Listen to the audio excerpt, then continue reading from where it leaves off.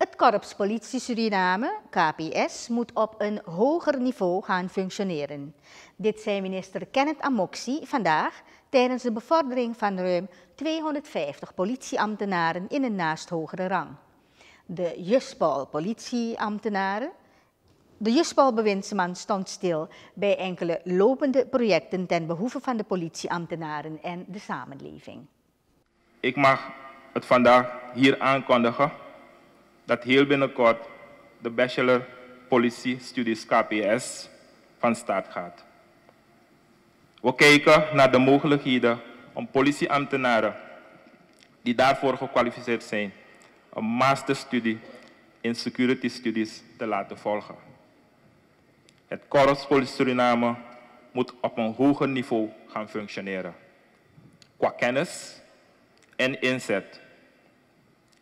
Qua kennis en inzetbaarheid. Maar ook qua integriteit en respect voor de mensenrechten.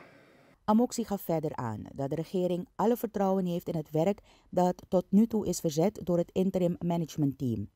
De enorme achterstanden in rechtspositionele aangelegenheden van politieambtenaren zijn hem niet onbekend.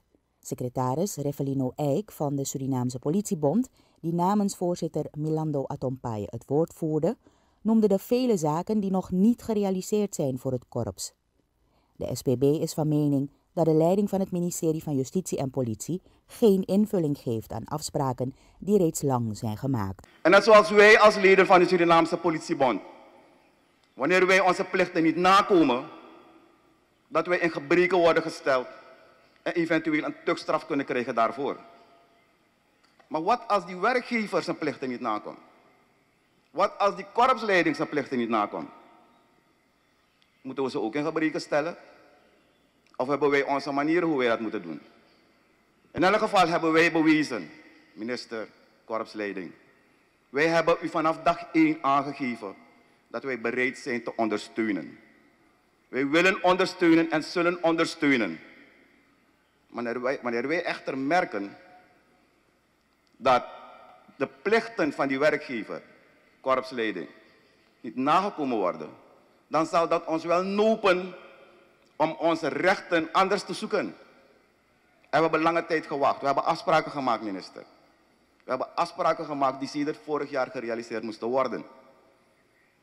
En die afspraken zijn nog steeds niet gerealiseerd. De lijst van bevorderde politieambtenaren bestond onder meer uit vijf hoofdinspecteurs van politie, 14 inspecteurs en 21 onderofficieren. Waarnemend korpschef Ruben Kensen heeft tijdens deze gelegenheid enkele punten aangehaald die volgens hem de nodige aandacht genieten van de korpsleiding.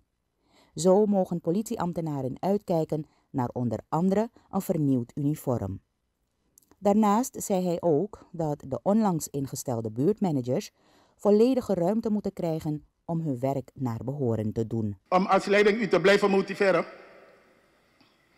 zijn wij naast het ter hand nemen van uw rechtspositie ook bezig te werken aan de verbeteringen van de noodzakelijke middelen welke u nodig heeft om het politiewerk te doen. In dit verband zijn we al uh, bezig met uh, het aanschaffen van logistieke middelen en de introductie van een bij de tijdse politieuniform. Zoals u ook hebt uh, gemerkt zijn we ook uh, bezig in het kader van de criminaliteitsbestrijding om het project buurtmanagement door te voeren. En daaraan sluitend ook dat project reservepolitie. Wij doen een beroep op de resortcommandanten. Dat ze de buurtmanagers in de gelegenheid stellen om hun werk te doen. Ga die man niet tegenwerken. Geef hem geen additionele werkzaamheden, zodat hij dat andere uh, werk niet kan uitvoeren.